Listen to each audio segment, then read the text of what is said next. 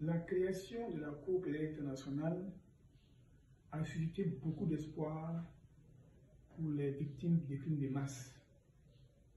Malheureusement, après deux décennies de fonctionnement, les résultats obtenus sont très maigres.